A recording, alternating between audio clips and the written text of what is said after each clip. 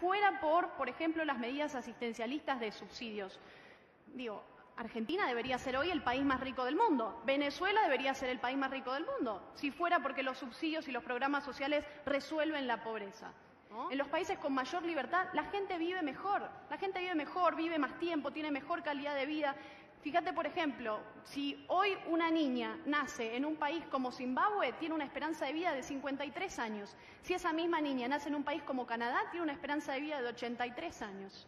Otro punto, si queremos datos, eh, los sectores más pobres en los países con economías más abiertas y donde se respeta el Estado de Derecho y la propiedad privada, los sectores más pobres ganan 11 veces más que los sectores más pobres en los países más socialistas y cerrados.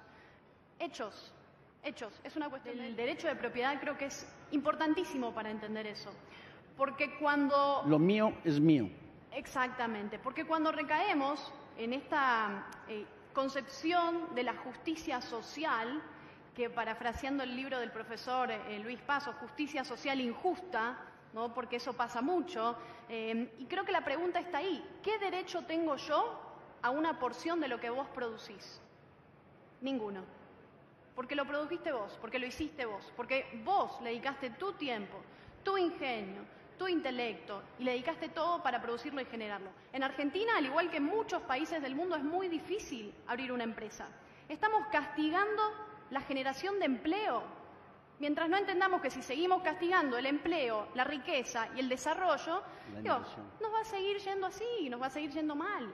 Si entendemos que a la inversión como algo malo, también nos va a seguir yendo mal. Y vos decís, la inversión, punto central para que un país pueda crecer. ¿quién va a querer invertir en un país en el que a futuro vos no podés proyectar? Porque no tenés seguridad jurídica, porque no tenés Estado de Derecho, porque el día de mañana te levantás a la mañana y lo primero que tenés que hacer como latinoamericano es prender la televisión, ver los diarios, estar todo el día informado para ver qué medida va a tomar el populista, ¿no? A ver con qué, con qué humor se despertó, a ver qué nos va a hacer, a ver cómo nos va a cambiar la vida. Entonces ese es el problema, no podemos proyectar y nadie va a querer invertir.